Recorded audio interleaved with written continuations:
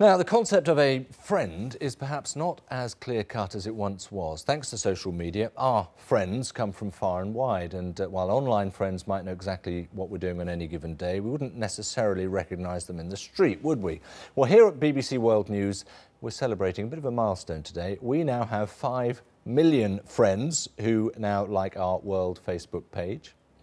Uh, for more on that, we can go over to the World's Newsroom. My colleague Tom Donkin with, uh, well, wow. Now, that's not a bad little celebratory cake, Tom.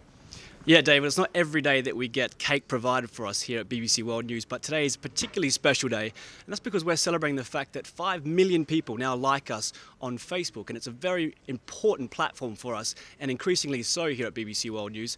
And to talk about that and uh, how far it's come, I'm joined by two uh, important guests on our social media world here at BBC World News. That's with Sam Barry, very much the custodian of our Facebook page, and also Marco Zoric, who's working a very exciting project with BBC World News uh, in terms of sharing sharing content and especially video with our audience. But first to Sam.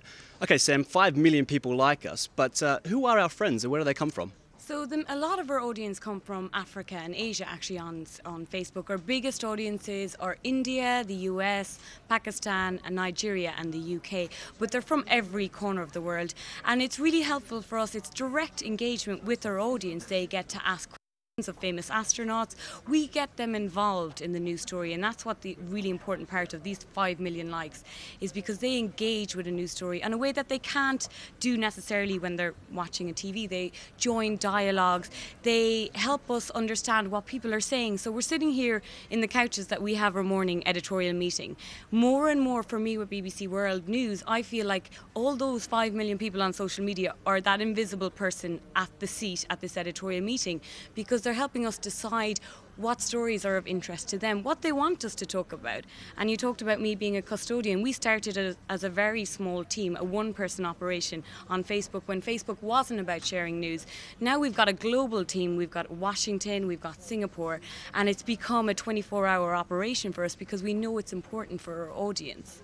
Okay, so what are they saying to us though? You speak or you listen to what people have to say to us about certain stories. What kinds of things or what kinds of appetites do people have around the world?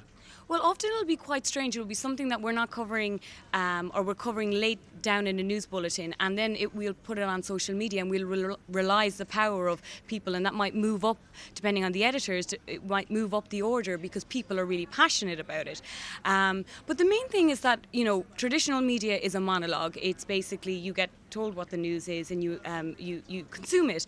Social media is a dialogue, and we're having great dialogues with our audience on that social media, and they're giving us some great questions for guests, and they're really telling us what they think of our coverage. Thank you, Sam. Stay there. We'll get you to cut the cake in just a minute. But Marco, one of the big appetites online is video, video content. Just explain what's happening, what the future might be in terms of engaging with our audience most of our viewers uh, probably spend a lot of time on YouTube, and we have decided recently to, to really focus and deliver the best of BBC News journalism on what is really the biggest video platform, search engine, uh, search engine actually, on internet. So uh, it is really vital for us to tap into the areas where our audience is uh, visiting and to offer not only something you might find on television, but also we want to show people what we do and how we do it, and to offer a little bit more transparency about our journalism.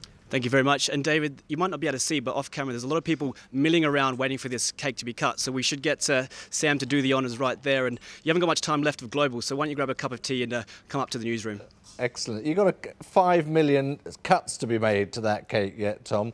There we go. They're not all going to be that generous, are they? I'll have that one. Sam, thank you very much. Tom, Marco, thank you all very much indeed. Five million. That's pretty impressive landmark, though we say so ourselves. Uh, thank you very